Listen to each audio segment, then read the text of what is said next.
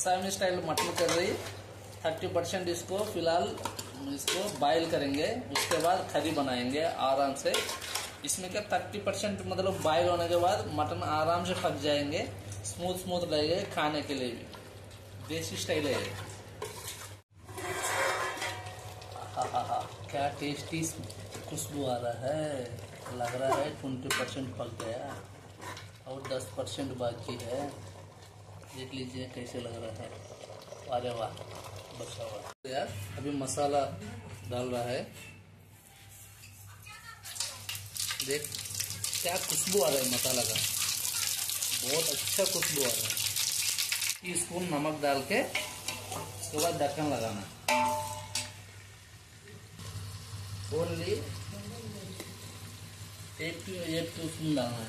एक tea spoon है ना, ज़्यादा नहीं डालना। मिर्ची और प्याज के हकी नमक है। मटन में ऑलरेडी मिक्स किया हुआ है और लास्ट में देखेंगे।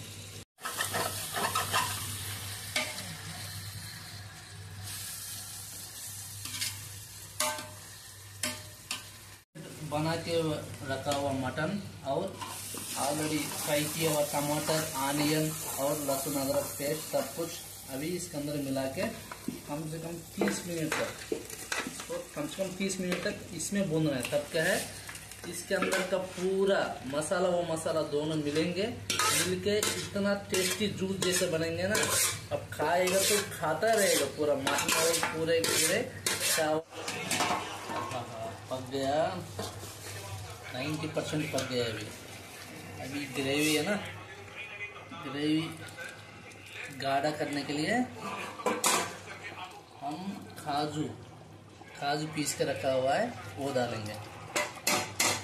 ठीक है? ग्रेवी गाढ़ा भी होगा, टेस्टी भी लगेगा, मस्त लगेगा।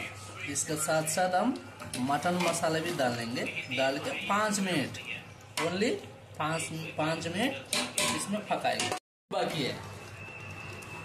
मसाला को हिला दिया हूँ। अभी दो मिनट के अंदर हम उतारेंगे। देखते हो तो खाने का मन कर रहा है।